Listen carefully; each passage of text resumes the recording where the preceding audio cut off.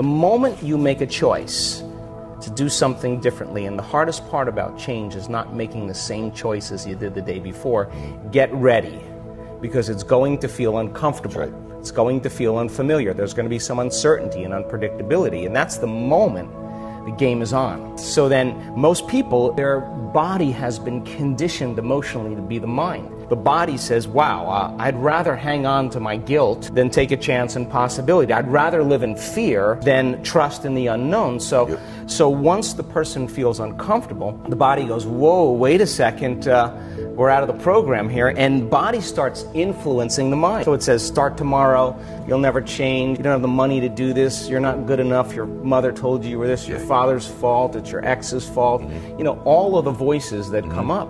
Now, here's the deal.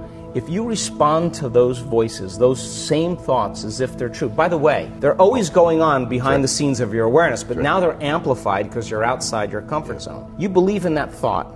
That thought's going to lead to the same choice, which is going to lead to the same behavior, which is going to create the same experience and produce the same emotion. And the person's going to say, This feels right. No, no, no, that feels familiar. Going from the old self to the new self is a neurological, it's a biological, it's a chemical, it's a hormonal, it's a genetic death of the old self. And people will say to me, in that void, in that unknown, I can't predict my future. And I'll say to them, the best way to predict your future is to create it. Not from the known, but from the unknown. So close your eyes now and think about that vision. Once you start thinking about that vision of your future, you're activating the creative centers in your brain. And naturally, you begin to think about putting yourself in the scene. And the act of doing that, when you're truly passionate and truly present, the moment you're defined by that vision, when the thought in your mind becomes the experience, you begin to feel the emotion of the event before it's made manifest. Yes. Now, you're giving your body a sampling, a taste I of the it. future.